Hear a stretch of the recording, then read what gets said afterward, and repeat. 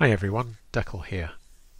This is a behind the scenes video explaining how we're going about preserving and demonstrating software for the Intellivision keyboard component.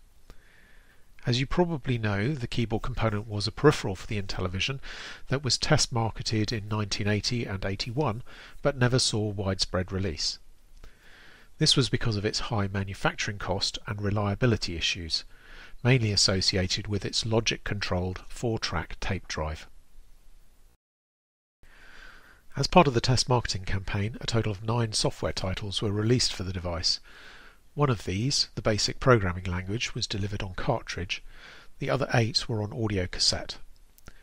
It's these cassette titles, specifically conversational French, that we're focusing on today. Like Jack LaLanne and Spelling Challenge, conversational French was developed for Mattel by APH Technological Consulting. It features a five-part language course centered around a trip to Paris and is delivered by an animated character called Mimi. Mimi is a real person, Mimi Schroeder, who, along with her husband Bill, ran Alouette Language Service, a California-based language school. I'm pleased to say that Mimi, now retired, still lives with Bill on the west coast. The five lessons that Mimi gave her voice to are split across two tapes labelled A and B.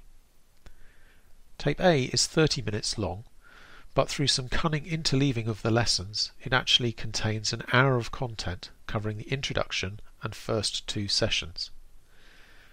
Tape B is 45 minutes long and has the final three lessons. Before we get too far into the weeds, I need to acknowledge that this work is a real team effort. Frank Palazzolo and Joe Zbiciak did the groundwork. They documented the keyboard component and put together tools to manipulate recordings of the cassettes. More recently, Ron the Cat, Lathe26 and I have joined the team. We've contributed more recordings and worked to convert the full software library. Ron kindly lent me his keyboard component, which he acquired from Sparky back in 2017, to work with over the last year. So with that context, let's get to it. Although keyboard component tapes are physically identical to standard Philips compact cassettes, they differ in a number of small ways. Effectively, the keyboard component tape system is single-sided, as it can play back all four tracks on a standard tape when playing in a single direction. Tape content is recorded with a significant DC bias, and the leaders on the cassette are transparent to infrared light, allowing the end of the tape to be detected using a photodiode. To get the most accurate representation of the source material, it's best to capture these tapes using a custom 4-track recorder. However, we have found that recordings made from a regular hi-fi tape deck can give reasonable results. So we start with a recording of the cassette audio, which we can see here in Audacity. This one is from tape B of Conversational French and was made on a standard tape deck. So the four tracks are split across two stereo recordings. The top recording is side 1, containing the pre-recorded or read-only audio and programs. The bottom recording is side 2, that contains the home recorded or read-write audio and programs. The first thing that we notice is that the recordings on side 2 are reversed because the keyboard component is expecting a 4-track single-sided tape deck. We can see this because the starting tone here is at the end of the recording on side 2 whereas it's at the start of side 1. We can fix this by selecting the entire recording and flipping it round. And you can see now that the recordings match much better. Let's focus on side 1. If we zoom in, we can see that both the audio and data are broken up into chunks called records. We'll start by focusing on the data. Let's zoom in again.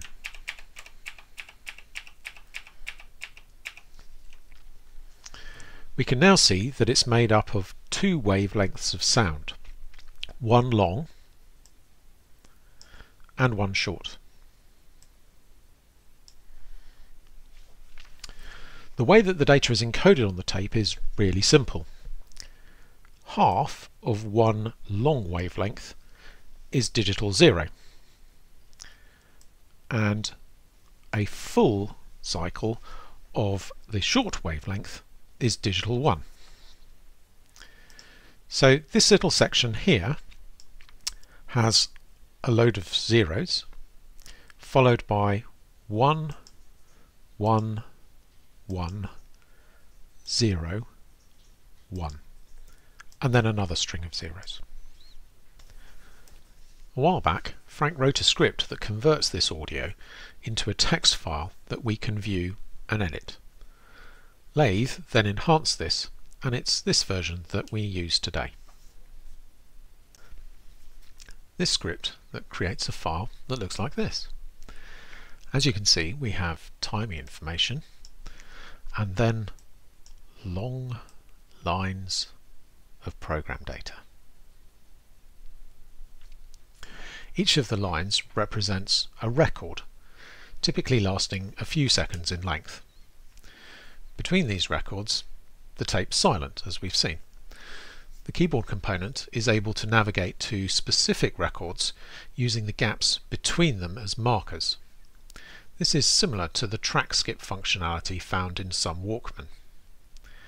Frank and Lathe's script does a great job in converting the audio to data. However, sometimes the recording is unclear and garbled, so we still have some work to do. First, we have to remove all the obvious junk, like these sections here, where noise in the recording at the start of the tape is being interpreted as information. Then we have to verify the data. This is a two-stage process. Again, the scripts to do the verification were originally written by Frank and have subsequently been enhanced by Lathe and myself. The first stage of verification checks the structure of each record to make sure it's valid. Each record starts with a standard header pattern and is then broken down into chunks and then rows. Each row contains 32 bits of data and starts with the pattern 11101 that we saw earlier. This means that once we've seen a valid start to a record, we should see this 11101 pattern every 37 bits of data.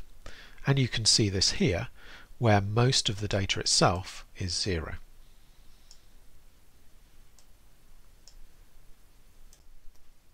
Therefore, the first stage verification checks the record signature and the row starting bits and highlights any problems. It also restructures the data so that we can clearly see each record header, each chunk within a record, and each row within a chunk.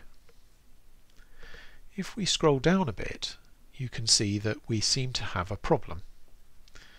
This row seems to have one bit too many in it, and as a consequence, the row headers go out of sync from this point. We now have to work out what's gone wrong and correct it in the original decode of the audio. We have a couple of different ways of working out what's happened. If we have a second independent recording of the same program, we can compare the two. It's unlikely that they will have a problem at the same place, and so we can use the second decode to correct the first. This is largely what we did with conversational French. There are also some standard error patterns that we get to know. For example, we quite often see SS in the data. This means that we have two cycles, both of which have a short bottom to them. We found that in this case they should usually be replaced with a single digital, digital zero. However, sometimes it's necessary to go back to the audio waveform itself in Audacity and find the correct spot, which tends to be a pain, and then try to work out what the data should be by eyeballing the waveform. Typically, There are tens of these structural issues when converting a single side of a 30 minute recording. Once the structure of the data has been corrected, we move on to the second stage of verification. Each chunk of data consists of 15 rows. 10 of these rows contain 32 decles of program code, one in each column. The other five rows contain uh, error correction codes for each of the 32 decles. Each 10-bit data value has an equivalent 5-bit code. If there's a mismatch between the value of the decle and its error code, it indicates that one or more bits of data, or perhaps the error code, are incorrect.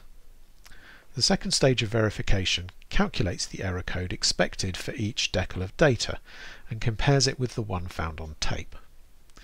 The cool thing is that the error codes are chosen so that if a single bit is wrong in either the data decle or the error code, it's possible to work out which bit is wrong and correct it automatically. If two bits are incorrect, it's possible to identify that something's gone wrong, but not correct it. And if more than two bits are wrong, then essentially all bets are off and the error can't necessarily be spotted. So whilst the error correction scheme is pretty good, it's not guaranteed to sort things out. The second stage verification therefore goes through fixing single bit errors where it can and highlighting larger errors. And we can see that here. Again, we may need to go in and manually correct problems in the original decode of the audio. Once this has been completed, we have what should be a correct program or programs.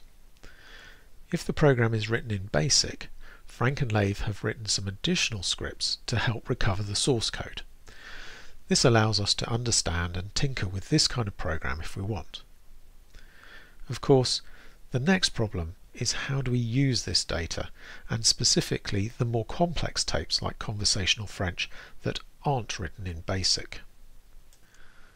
As I said, the logic-controlled tape decks in the keyboard component are notoriously unreliable and will only become more so over time. We also don't have an easy way to construct the slightly non-standard tapes that the keyboard component uses. So creating audio cassettes doesn't look like a good option. At the moment we also don't have a decent emulation of the keyboard component. MAME has an incomplete implementation and jzIntv doesn't have one at all.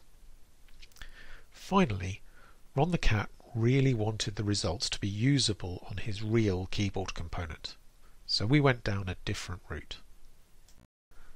Frank and Joe had partly documented this interface between the keyboard component motherboard here and the tape interface board here.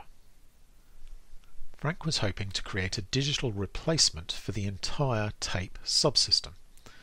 However, unfortunately he didn't get too far with this work. So Ron and I took up his idea and implemented it. We designed and built an interface that sits between the keyboard component motherboard and the tape interface, and we call it the Kitty Faker. Kitty comes from keyboard tape, KT, Kitty. The Kitty Faker listens to commands from the keyboard component motherboard and mimics the behavior of the tape interface. The microcontroller at its heart plays back program data and audio from an SD card, feeding it into the keyboard component motherboard. The Kitty Faker can simulate audio and programs on both the pre-recorded and home-recorded cassette tracks. However, it can only record data. So whilst it is possible to write, save and reload your own basic programs, it's not possible to record and play back your French practice.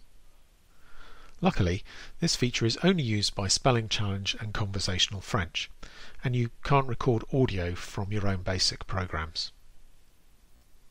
Because it's also connected to the tape interface, it's possible for the Kitty Faker to pass on requests from the motherboard and responses from the tape mechanism, allowing cassettes to be used as normal if required.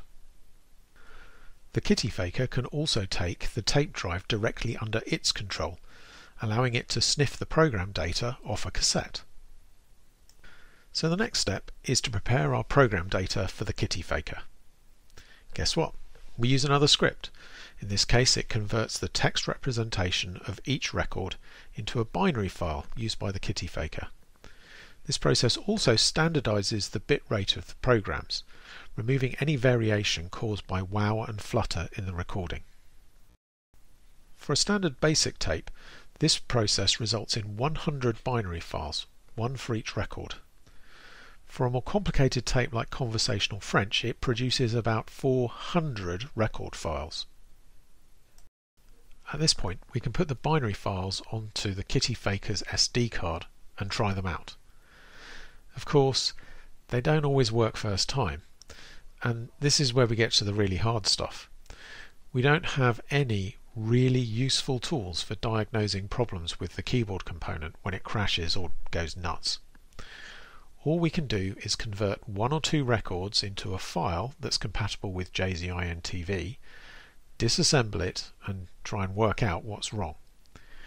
We can't run the file in jzIntv because it doesn't model the keyboard component, and MAME's emulation is not accurate enough yet. None of the development kits we've recently reverse engineered are designed for, to work with the keyboard component either. So we're left with trying to understand and fix the code or fiddling with the timing of records to get things working. So far, this has proven to be sufficient, although it really cannot be guaranteed. The final piece in the puzzle is the pre-recorded audio from the tape. The first thing to note is that because the timing of the audio is linked to the program data, we have to use the audio from the same recording that we generated our baseline program data from, Otherwise we would have synchronization problems. To be able to play and pause specific bits of audio, we need to cut it up into chunks that align with the program data records. Although it would in theory be possible for the keyboard component to start and stop the tape arbitrarily, in practice it only ever seems to play back whole records of audio. However, because we've standardized the bit rate of the program files, we now have to adjust the tempo of the audio so that it matches the new length of each record. When we generated the program data, the script we used also created a file describing the timing of the record, where it started in the recording, how long it was, and how much we adjusted the timing by. We then have another script that uses this menu to cut up the audio track of the original recording into sections that match the timing of the standardized program records. We copy the program files and audio into a directory on the SD card. We have one directory per keyboard component tape. And once we've done that, we put the SD card into the Kitty Faker. We can then use a laptop or a phone to connect to the Kitty Faker using Bluetooth and tell it which tape or directory we want to use. And that's it. We're good to go.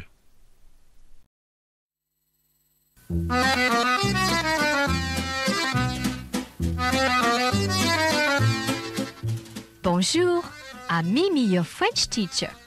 Before we begin, I'd like to tell you a little bit about your conversational French course. And so there we are a summary of the end-to-end process that we use for capturing, digitizing and playing keyboard component software. We hope we're going to have some more results to share with you soon. Cheers. Welcome to the Jack LaLanne Mattel Electronics Exercise Program. I'm Jack LaLanne.